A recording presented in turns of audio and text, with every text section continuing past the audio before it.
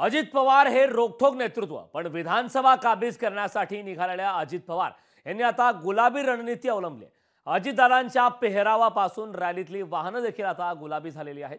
आता हा गुलाबी बाणा मतदारांना भावणार का याची उत्सुकता निर्माण झाली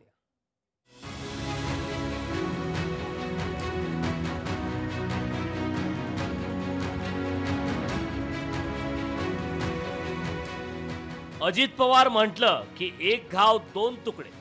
जे आहे ते रोखोक अशी प्रतिमा. लोकसभा निवडणुकीनंतर अजितदादा आता बदललेत. अजित पवारांनी मेकोहर करायला सुरुवात केली. अजित पवारांनी मतांसाठी गुलाबी रंगच धारण केला. अजित पवार यांच्या जनसन्मान रॅलीतली बस गुलाबी आहे. त्यांच्या ताफ्यातील वाहन गुलाबी झालीत. खरं तर अजित पवारांना मतांसाठी लांगूल चालन करताना कोणीच पाहिलं नव्हतं.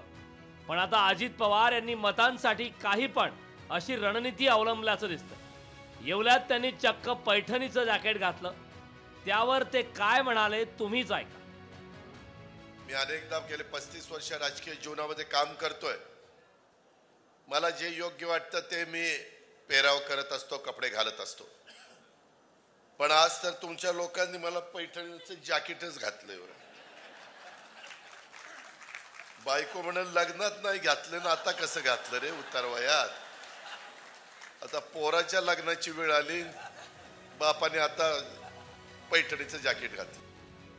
अजित पवारांनी इमेज मेकिंगची जबाबदारी डिझाईन बॉक्स या कंपनीच्या नरेश अरोरा यांच्यावर सोपवली.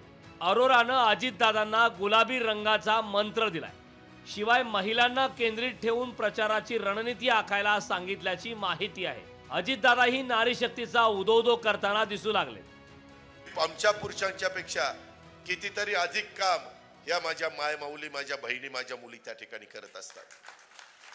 सकाळी उठलं की स्वयंपाक कर चहा पाणी हे ते हे संपलं की शाळेत कुणाला पाठव तोपर्यंत डबा कुणाला पाठव. सगळं करायचं. कधी तिला सवड आहे का?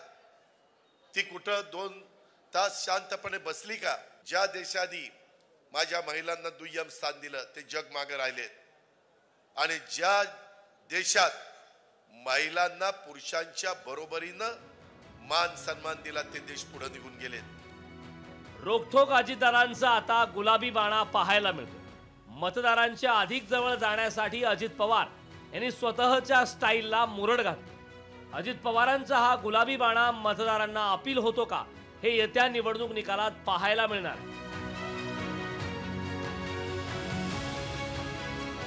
महेश महाले लोकशाही मराठी नाशिक.